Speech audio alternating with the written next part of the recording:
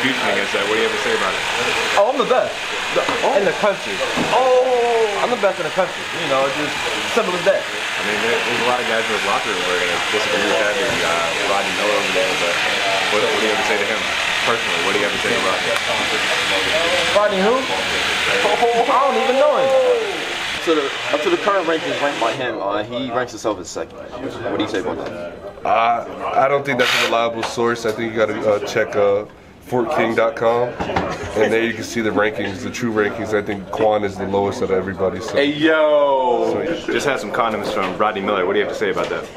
Man, he is trash. Simple as that. I'm the best. He trash. He not better than Sam Waardenburg. That's what he not better than. So I don't want to hear it.